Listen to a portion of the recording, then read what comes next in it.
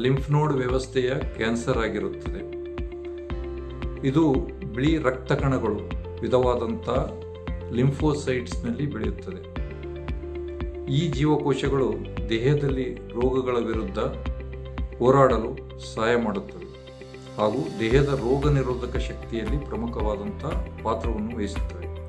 ಈ ವ್ಯವಸ್ಥೆಯಲ್ಲಿ ಬದಲಾವಣೆಗಳಾದಾಗ ಸಹಜವಾಗಿ ಲಿಂಫೋಮಾ ಬರುವ ಸಾಧ್ಯತೆಗಳು ಹೆಚ್ಚಾಗಿರುತ್ತೆ.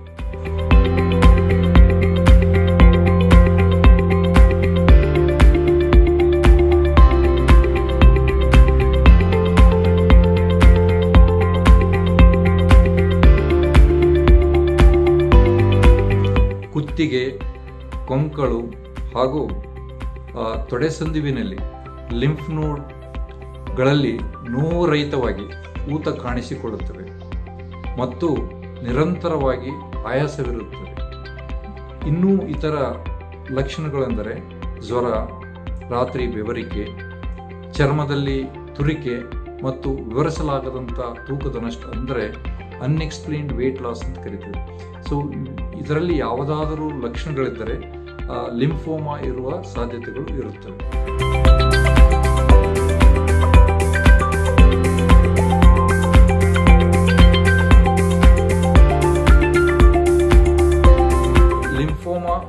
ಪತ್ತೆ ಹಚ್ಚಲು ನಾವು ಲಿಂಫ್ ನೋಡ್ ಬಯಾಪ್ಸಿಯನ್ನು ಮಾಡುತ್ತೇವೆ.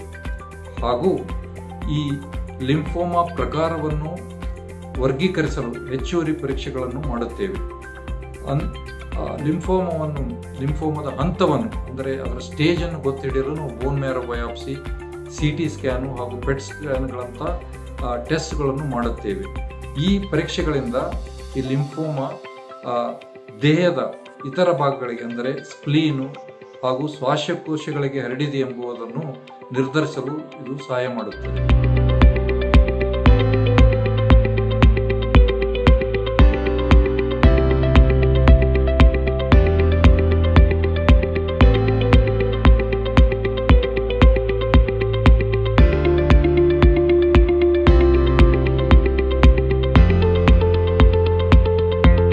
ಮೆಜಾರಿಟಿ ಆಫ್ ದ ಲಿಂಫೋಮಾಸ್ ಅಂದರೆ ಹೆಚ್ಚಿನ ಲಿಂಫೋಮಾಗಳನ್ನು ನಾವು ಪೂರ್ತಿಯಾಗಿ ಗುಣಪಡಿಸಬಹುದು ಆ, ಈ ಲಿಂಫೋಮಾ ಚಿಕಿತ್ಸೆ ಅಂದರೆ ನಾವು ಹೇಗೆ ಡಿಸೈಡ್ ಮಾಡ್ತೀವಿ ಅಂದರೆ ಅದು ಲೋ ಗ್ರೇಡ್ ಇದೆಯೋ ಅಥವಾ ಹೈ ಗ್ರೇಡ್ ಇದೆ ಅಂತ ಇದು ನಾವು ಬಯಾಪ್ಸಿ ಟೆಸ್ಟ್ನಲ್ಲೇ ನಾವು ಅದನ್ನು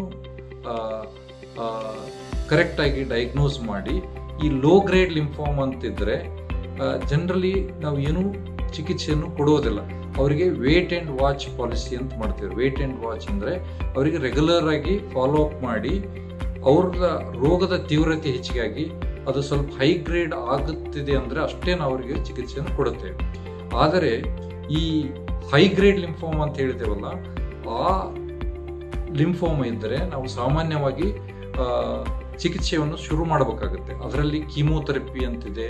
ಕೀಮೋ ಇಮ್ಯುನೋಥೆರಪಿ ಅಂತ ವಿಧವಾದ ಚಿಕಿತ್ಸೆಗಳನ್ನು ಮಾಡಿ ಪೂರ್ತಿಯಾಗಿ ಗುಣ ಮಾಡಲು ಸಾಧ್ಯವಾಗುತ್ತದೆ. ಆದರೆ ಕೆಲವೊಮ್ಮೆ ಭಾಳ ಅರ್ಲಿ ಸ್ಟೇಜ್ನಲ್ಲೇ ಬಂದ್ರಂದರೆ ಅವರಿಗೆ ನಾವು ಈ ರೇಡಿಯೋಥೆರಪಿ ಅಂತ ಚಿಕಿತ್ಸೆಯನ್ನು ಮಾಡಿ ಗುಣ ಮಾಡಲು ಅನುಕೂಲವಾಗುತ್ತದೆ. ಇಷ್ಟೆಲ್ಲ ಚಿಕಿತ್ಸೆಯನ್ನು ಮಾಡಿದರೂ ಕೆಲವೊಮ್ಮೆ ರೋಗಿಗಳು ಕೆಲವೊಮ್ಮೆ ಕೆಲವೊಂದು ಸಾರಿ ಈ ರೋಗ ಮತ್ತೆ ಮರುಕಳಿಸುತ್ತದೆ, ಅಂದರೆ ರಿಲ್ಯಾಪ್ಸ್ ಆಗುತ್ತದೆ.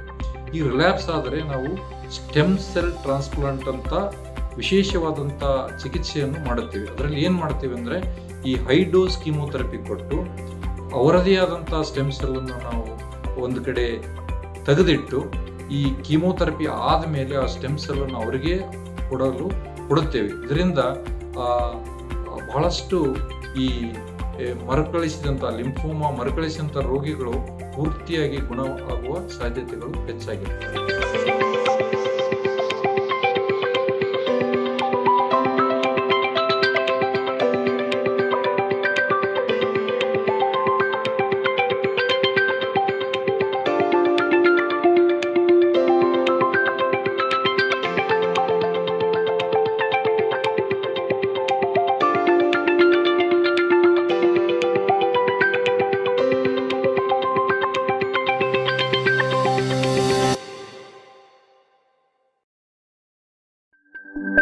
Música